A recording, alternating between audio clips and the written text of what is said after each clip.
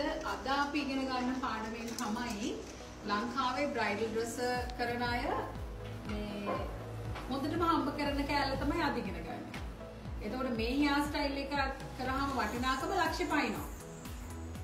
හරියට කරනකොට මේ හෙයා ස්ටයිල් එකක් හරියට කරා කියන්නේ ලක්ෂ පයින්නවා. එතකොට බ්‍රයිඩ්ල 10ක් කළොත් මාසෙට ලක්ෂ 10ක් හම්බ කරන්න පුළුවන්. එතකොට මේ කෑල්ලේ තමයි වැඩියෙන්ම හම්බ කරන බ්‍රයිඩල් ඩ්‍රෙසස්ලා ලංකාවේ ඉන්න අය වැඩියෙන්ම කරන්නේ කැන්ඩියන් බ්‍රයිඩ්ස්ලා. ඒතර කැන්ඩියන් බ්‍රයිඩල් එක හොඳට කරන්න පුළුවන් වෙනවා කියලා කියන්නේ රස්සාවක් හොඳටම තියෙනවා. මොකද ලංකාවේ වැඩියෙන් ඉන්න කැන්ඩියන් බ්‍රයිඩ්ස්ලා නිසා නිතර ඉල්ලුම තියෙනවා. කැන්ඩියන් හොඳට කරන්න පුළුවන් බ්‍රයිඩල් ඩ්‍රෙසස්ලාට. ඒකේ හින්දා මේක හොඳට ඉගෙන ගන්න ඕනේ. ඒතර සෙක්ෂන් මම කියන්නේ මේක කෝටි ගාණක් වටින හෙයා ස්ටයිල් එකක් කියලා. ඇයි අපි වැඩ කරන්න කරන්න ලක්ෂද ලක්ෂද හොඳ බ්‍රයිඩල් ඩ්‍රෙසස් ලගේ ගාන නෑ. ඊටත් වැඩියෙන් ඊට පස්සේ එයා එයාගේ ගාන මාක් කරනවා. ඉතින් ඒ නිසා මේ හෙයා ස්ටයිල් එකේ මතක තියාගන්න ඕනේ කෑලි ටික තමයි. හරියට ඉයෝටිව ලයින් එක ගන්න ඕනේ. මොකටද අපි වැඩියෙන් ඉයෝටිව ලයින් එක ගන්නෙ? එහෙම නැත්නම් හොඳට බ්‍රයිඩල් ඩ්‍රෙස් කරන්න බැරි අයගේ තැල්ල මැදි බහැලා. ඇයි? අවශ්‍ය කොටස් ටික හරියට සෙක්ෂන් වෙලා නැහැ ඒ වගේම තමයි හරි ඩිරෙක්ෂන් එකට මොකද්ද වෙන්න ඕනේ? බැක්කොම් කරන්න ඕනේ බැක්කොම් කියන්නේ හරි අවුලක්. හැබැයි ඉතින් ඒ අවුලත් අපි හරියට කරන්න ඕනේ. ඒ බැක්කොම් එක හරියට කරලා තිබ්බොත් මැද සෙක්ෂන් එකේ හරි විදියට කෙලින් පහලට මැද්දෙන් තැල්ල බහිනවද? බහින්න බෑනේ.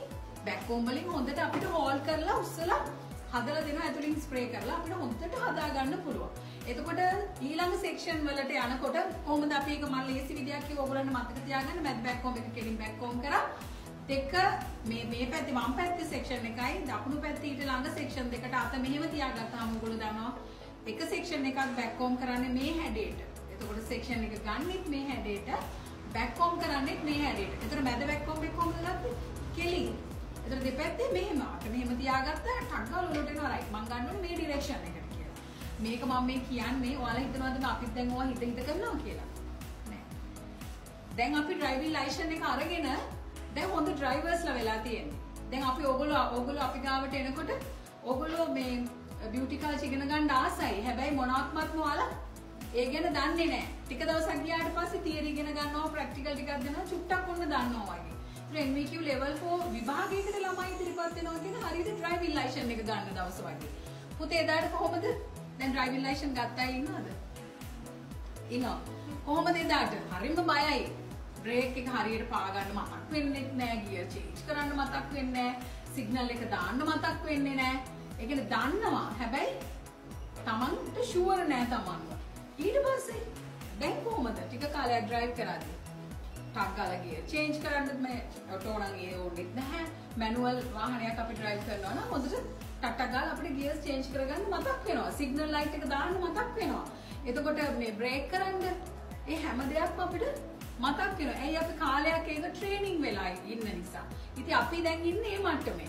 බියුටිෂියන්ස්ලා මම ඒක ඔයාලට තේරුම් ගන්න ලේසි වෙන්නයි ඩ්‍රයිවිං ලයිසන් එකේ කතාව කිව්වේ. අද ඕගොල්ලෝ හිත හිත කරන්නේ ඒ නිසා මම කිව්වේ මෙහෙම අත තියාගන්න. ඕගොල්ලන්ට ඉතර වම් පැත්ත ගන්න සෙක්ෂන් එක මෙහෙම පනාවෙන් බෑක් කොම් එක වදින්නෙත් මේ පැත්තට කියලා මතක් වෙනවා.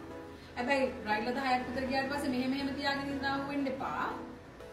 එතකොට ඕගොල්ලන් මේ මොලේ ටක් ටක් ගාලා ඒවට වැඩ කරනවා. හරිද? ඉතින් ඒ නිසා හොඳට මේ අපි දැන් අර ඩ්‍රයිවිං ලයිසන් එක අරගන්නවා වගේනේ මෙහෙන් යන්නේ. අරගෙන ගියාට පස්සේ ටික දවසක් ඩ්‍රයිව් කරාට පස්සේ හොඳ ඩ්‍රයිවර් කෙනෙක් වෙනවා වගේ හොඳ බියුටිෂියන් කෙනෙක් වෙන්න ලේසි මේක හොඳට ට්‍රේනින් කරන්න ඕනේ. හොඳට ට්‍රේනින් වෙලා ඉන්න ඕනේ. එතකොට ඔයගොල්ලන්ට කිසි ගැටලුවක් නැතුව මේ ටික කොට දාගන්න පුළුවන්. කිසිම ප්‍රශ්නයක් නැහැ කැන්ඩි බ්‍රයිඩ් එක. හරිම ලේසි හොඳට කල්පනා කරලා වැඩ කරනවා. හොඳට කල්පනා කරලා කරනවා නම් කැන්ඩි බ්‍රයිඩ් එක මාර ලේසි. දැන් අපිට පැයින් බ්‍රයිඩ් කෙනෙක් ඩ්‍රෙස් කරන්න පුළුවන් නේ මේකප් ඇන හෙයාර් ස්ටයිල් පැයින් කරන්න පුළුවන්.